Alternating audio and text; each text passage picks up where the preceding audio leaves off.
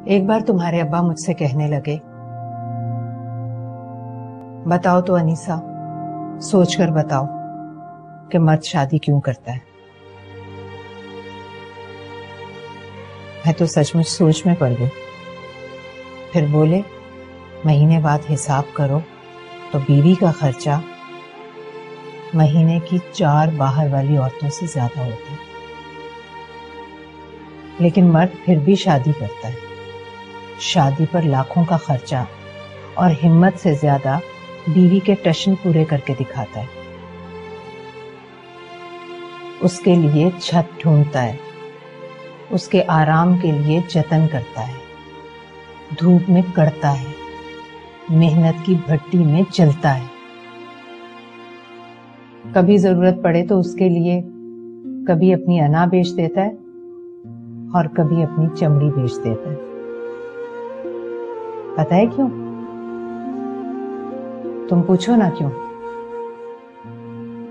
क्यों? क्योंकि मर्द की ये वाली आदत खुदा जैसी अब देखो ना खुदा को क्या ज़रूरत थी?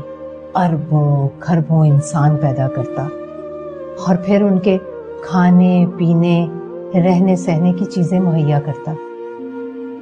लेकिन शायद ज़रूरत थी उसे।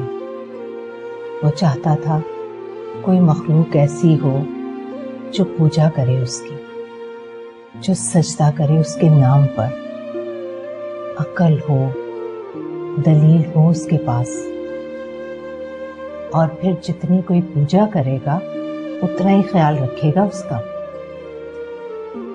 और सब कुछ दे देने के बाद कहा कि मैं रहमान हूँ, रहीम हूँ, सब गुनाह माफ़ करूँगा। लेकिन शिरक कभी माफ़ नहीं करूँगा। तो बेटा, खुदा ने अपनी यही आदत मर्द के खून में डाल दी। जिस तरह उसे अपनी मखलूक सबसे ज़्यादा प्यारी है ना, इसी तरह हर अच्छे मर्द को अपनी बीवी सबसे प्यारी होती है। वो खुदा नहीं है, लेकिन खुदा की तरह उसके लिए सब कुछ करता है। या फिर करने की कोशिश करता है।